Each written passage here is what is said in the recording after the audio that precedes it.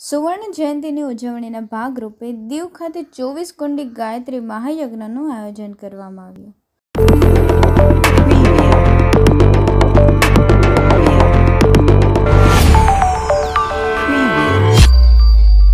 શાંતિકુંજ, હરિદ્વારના સૌજન્યથી સમગ્ર દેશમાં સુવર્ણ જયંતિની ઉજવણી કરવામાં આવી રહી છે.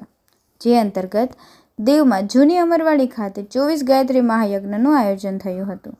આ મહાયજ્ઞનું આયોજન ત્રણ દિવસનું હતું, જેમાં દીવના ગાયત્રી પરિવારના સભ્યો સહિત અનેક લોકોએ પણ ભાગ લીધો.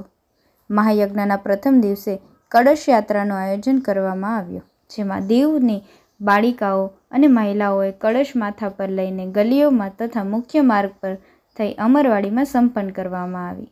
બીજા દિવસે ચોવીસ કુંડી ગાયત્રી મહાયજ્ઞનું આયોજન થયું, જેમાં ચોવીસ દંપતીઓએ યજ્ઞનો લાભ લીધો હતો. આ સાથે સાંજ દીપ યજ્ઞનું પણ આયોજન કરવામાં આવ્યું. ત્રીજા દિવસે ગાયત્રી યજ્ઞનો મંત્રોચ્ચાર, પૂજા અર્ચના, ભજન કીર્તન, મહાઆરતીનું આયોજન થયું હતું. આ ત્રણ દિવસ દરમિયાન દીવ ગાયત્રી પરિવારનું આયોજન રહ્યું, જેમાં દીવ જિલ્લાના વનાકબારા પટેલવાડી, સાઉદવાડી, દીવ વગેરેના ભક્તો જોડાયા હતા અને ઉત્સાહપૂર્વક આ ધાર્મિક કાર્યક્રમમાં ભાગ લીધો હતો અને કાર્યક્રમને સફળ બનાવ્યો હતો. શાંતિપૂર્ણ હરિદ્વાર, સ્વર્ણ જયંતિ વર્ષે ઉજવી રહ્યું છે. એમાં આ ચોવીસ કુંડી યજ્ઞની સંસ્થા આજે દીવમાં સંપન્ન થઈ રહી છે. ડૉક્ટર પ્રણવ અને આદરણીય દીદીએ ગાયત્રી પરિવાર અને એક ટીમ મોકલી છે અને એક એક જિલ્લામાં કાર્યક્રમ પૂરો કરકે કરકે આજ હમારે દિલની પારી છે. અને આજે ચોવીસ કુંડી યજ્ઞ સંપન્ન થવા જઈ રહ્યો છે. તો દીવ એક આધ્યાત્મિક મંદિર છે. તમે વિચાર કરો, એકસો ને ચૌદ મંદિરો દીવની અંદર છે.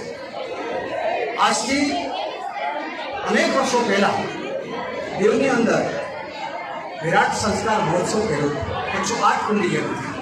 દીવની અંદર પણ ગઈકાલે તારીખ પચીસના રોજ આ કાર્યક્રમ શરૂ થયો. પહેલે દિવસે શોભાયાત્રા સરસ મજાની નીકળી.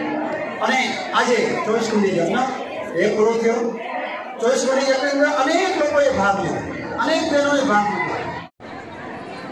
शांति कुंज स्वर्ण जयंती वर्ष 2021 और 22 के देव विस्तार परिवार देव परिवार विस्तार और गुरुकुल की स्थापना के कार्यक्रम के अंतर्गत चौबीस कुंडी गायत्री महायज्ञ आज दीप में संपन्न होने जा रहा है आज सब लोगों ने लगभग 24 जोड़ों ने यहाँ पर शानदार यज्ञ संपन्न किया वेद मंत्रों के द्वारा शांति कुंज से जो टोली आई थी उसने वेद मंत्रों के द्वारा सबको यज्ञ संपन्न कराया